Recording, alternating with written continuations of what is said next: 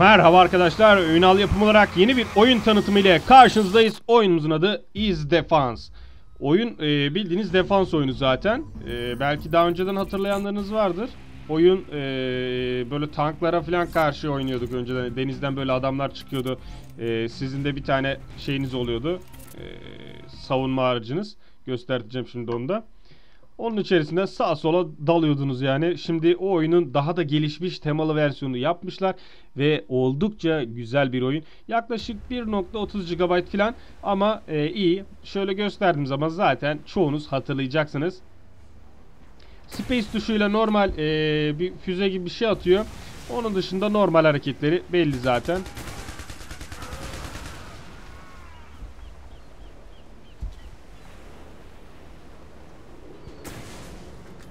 Hadi hadi. Of be sıyırdı ya.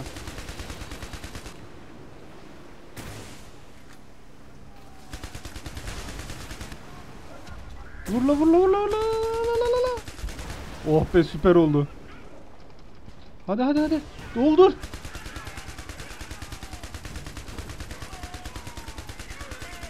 Adamları daha sağlam yapmışlar artık ölmüyor o kadar kolay. Ne oldu lan? Kolloş oldum.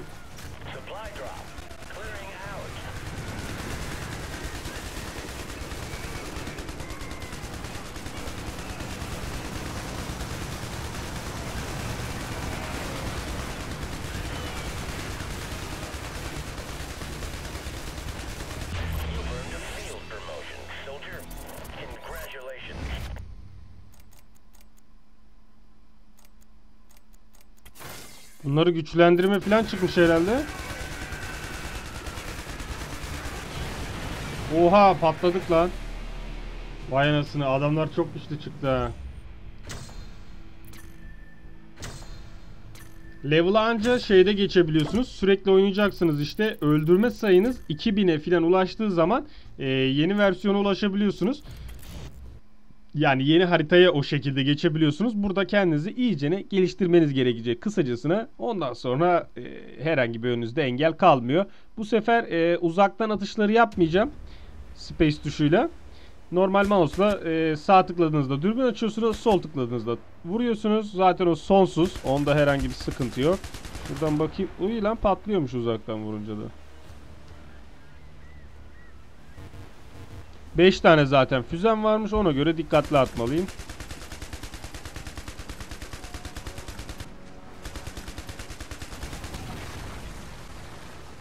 Oha ta oradakini patlatamam zaten. Gelsin buraya kadar vallahi hiç uğraşmayacağım.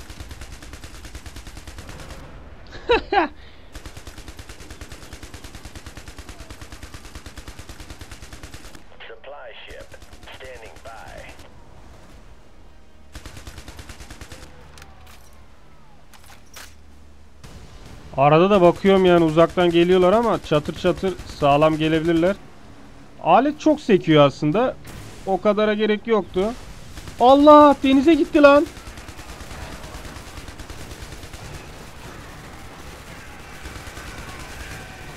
Şu piçler bombalı bombalı geliyor.